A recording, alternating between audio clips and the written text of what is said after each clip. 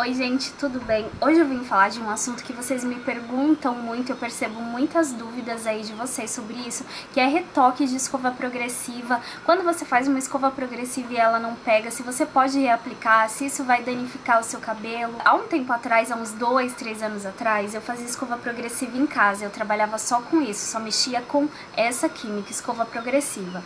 E claro, em alguns cabelos uh, tinha vezes da gente fazer uma escova progressiva e aquela mesma não pegar uh, devido à estrutura do cabelo, ao histórico do cabelo, alguma coisa assim, e a gente ter que reaplicar. Isso aconteceu agora Recentemente isso aconteceu com a minha mãe. Eu apliquei uh, uma escova progressiva, um shampoo alisador uh, na minha mãe e não pegou. Na, na, lavagem seguinte, quando eu lavei o cabelo dela, que fui hidratar, quando eu comecei a secar, eu percebi que a raiz dela estava alta ainda, assim, não estava tão alta como antes, mas ainda estava alta, assim, o resultado não foi de 100% liso. E como o cabelo da minha mãe tem uma estrutura que eu já conheço, ele alisa muito fácil, então eu falei, chegou suadinho, tava lá embaixo fervendo. Gente, olha a cara desse garoto, todo sujo. Gente, olha aí, tá todo, tá preto. Olha esse braço, preto, gente. Vai já pro banho. Não, nem pensar em subir na minha cama. Vai já pro banho. Peraí que eu já Não, volto. Vou, vou colocar esse... o joelho. Ai, senhor, olha esse joelho. Olha esse joelho. Vou fazer o quê? Vou botar esse menino pro banho. Peraí que eu já volto. É assim. Não, não, gente.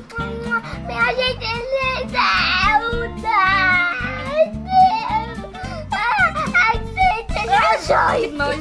Pronto, coloquei o porquinho lá pro banho. Então, gente, eu vou mostrar as imagens do cabelo da minha mãe pra vocês como tava antes. Tava assim, o cabelo dela é fininho, mas é bem crespo na raiz.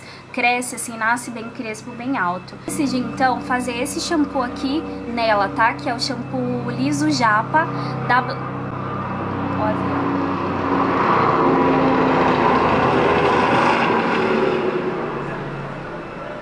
Passa muito avião por aqui. E eu fiz esse shampoo aqui nela, que é o Liso Japa. Eu não sei se a gente fez na pressa, realmente a gente tava com pressa, era festas de final de ano e é uma correria. Uh, eu deixei 20 minutos só, a pausa de 20 minutos só no cabelo dela. Eu não sei se foi insuficiente, mas eu sei que alisou assim uns 50 a 60% só o cabelo da minha mãe. Apenas reduziu bem o volume. Talvez é, eu deveria ter chapado mais. Algo deu errado, tá? Algo não deu certo e eu vim aqui mostrar pra vocês o que, que eu fiz pra corrigir. Como na próxima lavagem eu já vi que a raiz estava alta e ela não ia aguentar, ela não ficou satisfeita com aquela raiz, a gente começou a fazer o que? Tratamento em cima de tratamento. Ela começou a lavar o cabelo por uma semana, dia sim, dia não, e a gente ia tratando. O tratamento mais uh, potente que eu coloquei no cabelo dela, que deu uma sustentada, uma reavivada, porque a gente precisa recuperar o cabelo não do produto da escova progressiva. Produto de escova progressiva não estraga o cabelo, gente. O que danifica o que sensibiliza o cabelo é o que? O calor, como eu já expliquei para vocês, o calor da chapinha. Então a gente foi repondo nutriente e o tratamento mais potente que eu coloquei no cabelo dela pra repor, que eu senti que deu uma vida nova, foi o CPR, tá? Aquele sistema de dois passos CPR da Ciência. Aquilo levanta defunto, é maravilhoso. Semana do ano novo a gente aplicou essa progressiva aqui, que é a progressiva caseira, que eu fiquei encantada com o resultado. Infelizmente eu não consegui gravar o processo de passo a passo no cabelo dela, mas eu gravei fotos do resultado. A gente deu uma cortadinha no cabelo, meu marido que corta o cabelo dela, que ela gosta da mão dele, né, segundo ela, o resultado ficou incrível. E já adianto pra vocês que essa daqui será a próxima que eu vou usar no meu cabelo, tá? Que eu fiz um botox que já tá saindo, a raiz já tá alta, então essa daqui será a próxima e aí eu gravo sim o passo a passo pra vocês. Eu fiz essa no cabelo dela e o resultado foi de liso 100%, gente, 100%. Essa progressiva aqui, ela vem o gloss redutor, que é o passo 2, e vem o passo 1, um, que é o shampoo. O que que eu fiz? Como o shampoo, ele abre muito as escamas do cabelo e no caso dela era uma reaplicação, ou seja, estava ali só para consertar uma progressiva que não deu certo, eu optei por, por não usar o passo do, o passo 1, um, que é o shampoo, uh, por ser um shampoo mais alcalino. O que que eu fiz? Eu lavei o cabelo da minha mãe com um shampoo de tratamento, um shampoo hidratante, tá?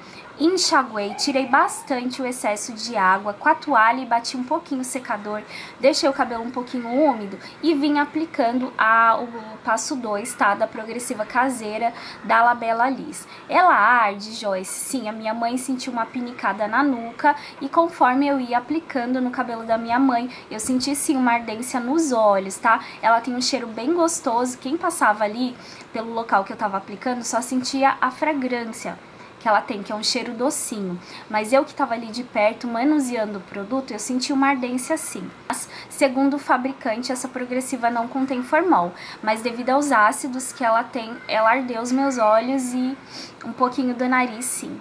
Então eu apliquei em todo o cabelo, da raiz às pontas, tá, gente? E deixei tempo de pausa de meia hora. Após esse tempo de pausa de meia hora, a gente enxagou a progressiva do cabelo e eu fiz aquele processo que vocês já conhecem, que é secar o cabelo com o secador, fiz uma escovinha e chapei mechas finas 10 vezes cada mecha. Eu usei a chapa de titânio Porém, eu usei a chapa na temperatura média, tá, gente? Não usei na temperatura máxima, não. Por quê? Porque eu já tinha feito, né, o processo antes na temperatura máxima. Precisava preservar esse cabelo. Então, eu chapei 10 vezes a raiz e o comprimento que já tava liso, eu chapei umas 3 a 4 vezes, tá? O resultado eu vou mostrar aí pra vocês em fotos. Foi muito satisfatório. Ela falou esses dias, ela me ligou, que agora eu já voltei de São Paulo, enfim. Ela me ligou e disse assim, Joyce, cabelo tá secando liso, assim, escorrido. Então, o cabelo dela se deu bem, tem disso também, né, gente, de cabelo para cabelo. Então, dela se deu muito bem, tá, com essa progressiva caseira e já não se deu tão bem com o shampoo liso japa. Então, é isso, eu só queria explicar para vocês como fazer esse processo de corrigir uma escova progressiva. O que vocês têm que colocar em mente é que precisa preservar aquele cabelo que alisou, que geralmente é a parte uh, do comprimento, né? Você precisa preservar esse cabelo do calor. Porém, você precisa passar sim o gloss redutor, faz toda a diferença, porque é, que é esse produto, geralmente passo 2, que vai selar o seu cabelo. Não pode selar só a raiz e deixar o comprimento de lado, entendeu, gente? Por isso que a gente reaplica o produto de escova progressiva em todo o cabelo. Ah, então, eu espero que vocês tenham entendido a diferença, né, de um produto de base ácida, que são os produtos de escova progressiva agressiva para um, um produto de base alcalina, como são uh, os relaxamentos e os alisamentos, que você não pode fazer essa, essa reaplicação onde já foi aplicado ali no cabelo, que dá corte químico na certa. Qualquer dúvida é só deixar aqui nos comentários que eu respondo. Um super beijo no coração e até a próxima. Tchau, tchau!